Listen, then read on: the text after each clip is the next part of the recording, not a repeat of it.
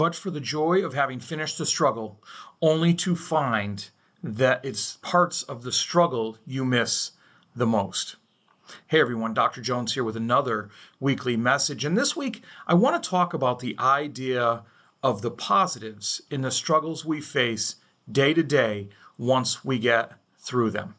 Now, you may wonder where this is coming from, but as I think about seniors finishing their school career at high school and going on to any step that they see as their next step towards success, be that college, the military, the workforce, anything they do, I want to stop and focus on the idea of how all these little steps, year by year, month by month, even day by day sometimes, added up to be something wonderful spectacular, momentous, and yet at the same time bring with it a sense of sorrow.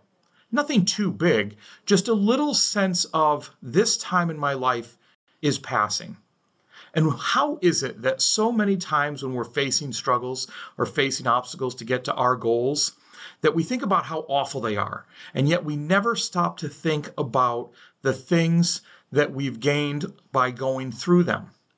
The friendships, the meaningful relationships of support, camaraderie, and the idea that others may be facing struggles just like us and offering support to them as well. You see, how is it that oftentimes when we've met that goal, that sense of relief, that sense of elation, even that we've gotten there, we sometimes take a step and just reflect on what we'll miss by not being in that struggle. So when we do that, we're not to feel sorry. We're not to feel down. We're still to celebrate that success. But part of growing and part of continuing towards even greater successes is the idea of keeping those relationships, not feeling bad that they're moving on, but watering them much like we do a plant to nurture and grow them.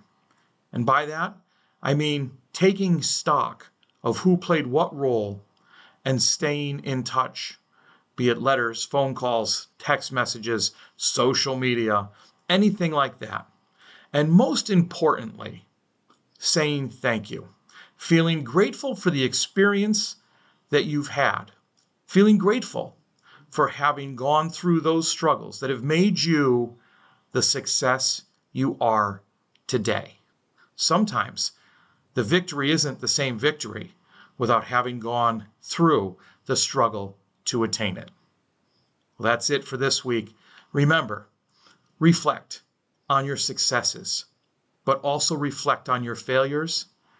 But no matter what, use each to reframe your perspective to the positive and to gratitude. As always, be purposeful, act with integrity and continue to build your character. You have a great week.